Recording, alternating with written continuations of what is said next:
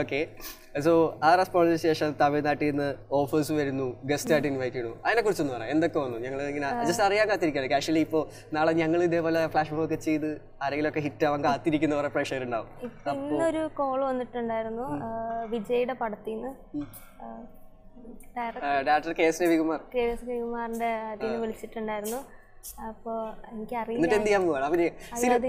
തമിഴ്നാട് ഇങ്ങനെ ഈ ഒരു ചോദ്യത്തിനായി കാത്തിരിക്കുകയാണ്. നിങ്ങൾ എപ്പോ തമിഴിൽ വരപ്പുറീങ്ക എനിക്കറിയില്ല. അതൊക്കെ അപ്പ അമ്മ സമ്മതിച്ചത് മാത്രം. അപ്പൊ ഇന്ന് വീട്ടിൽ പോയിട്ട് അതിന്റെ ടോക്ക് ആയിരിക്കും. ആ